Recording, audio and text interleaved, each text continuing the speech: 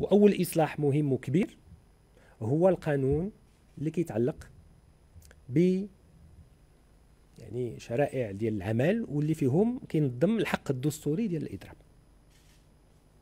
لأنهم كيف ما كتعرفوا ولو أنه كاين قانون محطوط في المؤسسات التشريعيه ولكنه لم يحظى بنقاش في إطار مؤسسات الحوار الاجتماعي ورفضت النقابات أن تتداوله ما دام يعني لم الصيروره اللي دار ماشي هي الصيروره اللي خصها تكون إحنا اتفقنا على أنه لن نخرج هذا القانون من المؤسسات التشريعيه لاعتبارات مؤسساتية ولكن الحكومة والنقابات وأرباب العمل اتفقوا على فتح هذا الملف هذا وأعطينا نفوسنا من هنا حتى ليناير إن شاء الله بموجب الاتفاق باش نوصلوا لواحد الاتفاق على على واحد العدد ديال المواضيع المطروحة.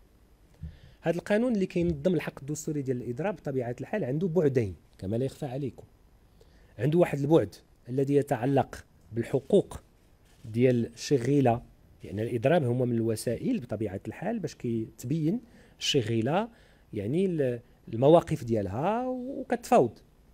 ولكن في نفس الوقت هنالك ضرورة ملحة لدعم الاقتصاد الوطني والمقاولة المغربية والتنافسية ديالها في إطار احترام القانون لأن شنو اللي مخبع تحت تحت هذا القانون ديال الإضراب؟ مخبع تحت منه المدونة ديال الشغل.